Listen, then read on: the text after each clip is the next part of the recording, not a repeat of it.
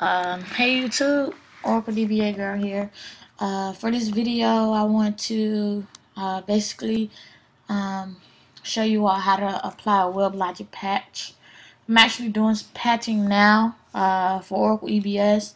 I had a WebLogic patch to apply. Um, my friend, we we kept trying to get up, but we kept missing each other. So I'm making this video for him, but I felt like it'd be good to put on my YouTube channel as well. So this is basically how you apply a patch using the uh, um, the smart utility. It's extremely easy to do. So we'll go ahead and get right in it. I just signed in and um, you have to be signed in with X Launcher if you're on Windows and if you're on a Mac, Xquartz. Um, so we'll go ahead and get right into it. Uh, right here, uh, this is the WebLogic Server 10.3.6 patch. Um, and, and I'm to apply this one. Um, it's very easy. The first thing you want to do is go over to your staging directory. Um, and I think it's in WebLogic. Okay. So I have two uh, WebLogic patches here, but we're to be applying uh, 17893334. So um, basically, all you want to do is let's go into this patch. And you want to move the 759 C jar. And uh, this file you want to move it into uh, the patching directory. So to do that um, I don't know the the home by heart so I'm just gonna um, CD over there. You want to go to uh, the Fusion Middleware home. So I'm just gonna CD over there now.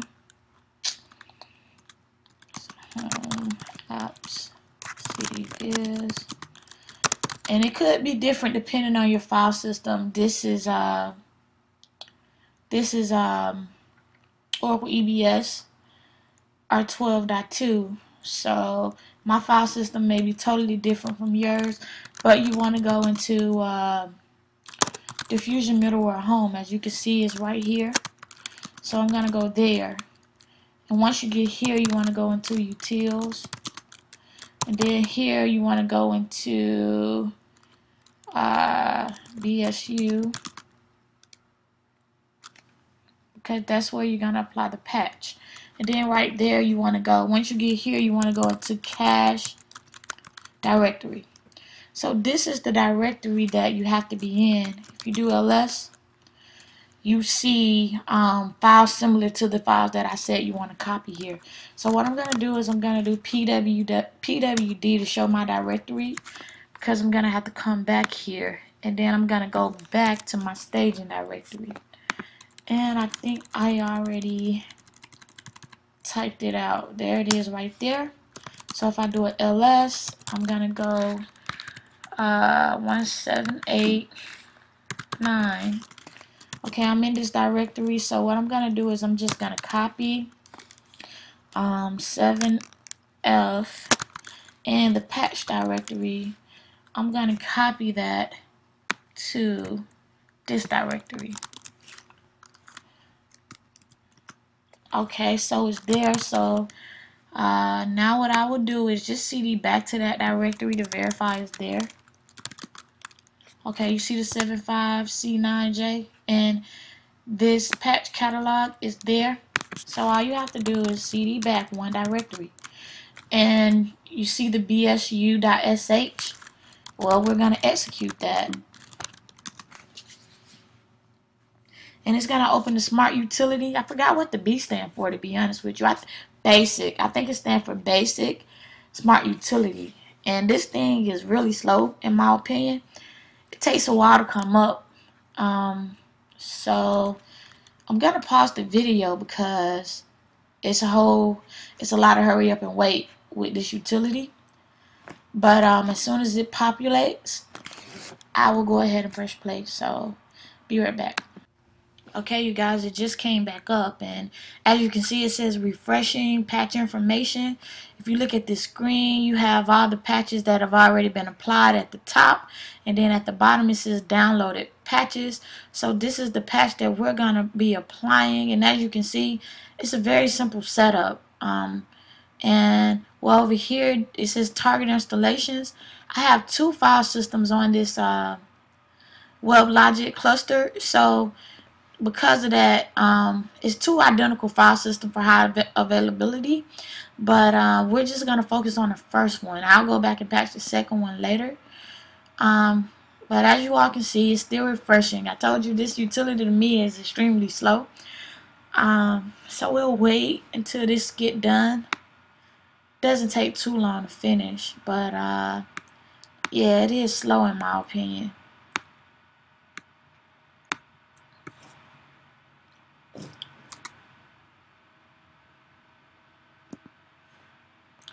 I guess I can go ahead and tell you all what I'll do. Simply, when this get finished, see this button here says apply. All I'm to do is click on that button.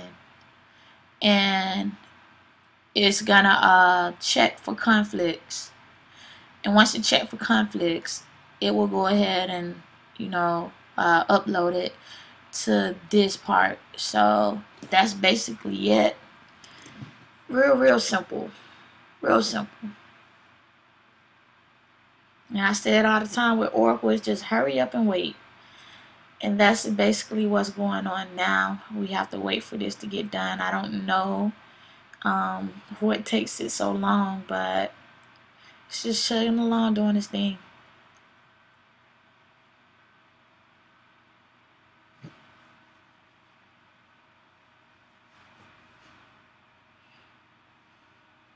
I'll go ahead and pause it until this gets done. I'm not sure how long it's going to take.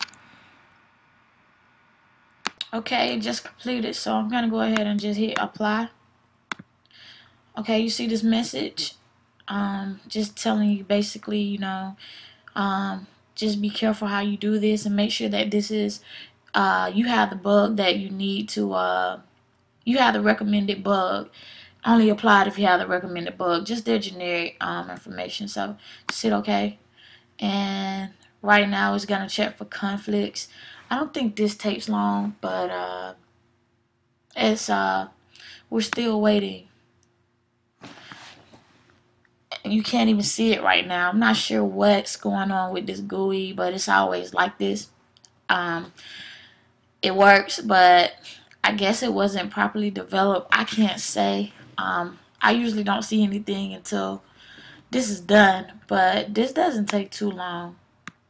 It just tells you that, you know, there was no conflicts um, with the with uh, the patch and you can go ahead and patch it. But I'll pause it until this get done as well because as you all can see, I can't see anything. And if I can't see anything, I know you all can't. So I'll just pause it. Okay, you all see this? Uh, no conflicts detected. We can see that now. So just hit OK. And then it's going to start to install the um, patch. See it says installing. So just let that run. And as you can see, it's done. And that's basically it. Um, if you come over here, you see it right here. So that's it. So what I do is I just exit out and that is how you uh, apply a WebLogic patch. I'll go ahead and do the second one um, and I'm just gonna use what I had. Uh, is copying it. Well wait I'm not in that directory so let me go over to that directory. And I think it was 1789 okay so I'm in that directory what I want to do is come back and for the second one well wait here we go. Okay copy it. We want to copy it to file system number two. Okay so now that it's in file system number two I am gonna go towards that way. Uh, come here make sure it's there, which we already know it is, but it won't hurt to check. As you can see, last two there. So I'm going to do the exact same thing. Um, I'm going to say shbsu.sh and it's going to bring up the utility again. Again, it's slow. so this is just showing you all how to patch uh, WebLogic. As you can see, it's pretty easy.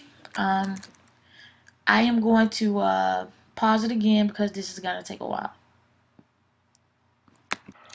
Okay, you guys, so I'm back. This is the second file system, as you can see, and the same file is here.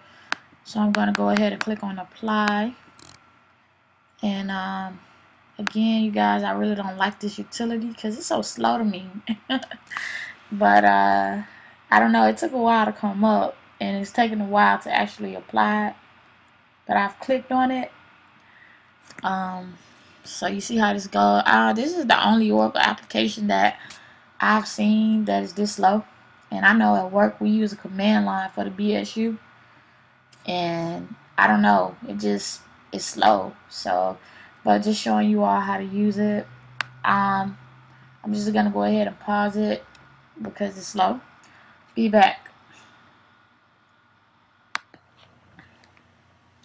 Okay, you guys, I went ahead and applied the patch. It was just way too slow, but uh, that's basically all you have to do to apply a WebLogic patch. Just uh, copy the files over to uh, that cache directory and just once you do that, just run the bsu.sh and um, just upload it. So I hope this was helpful to you all.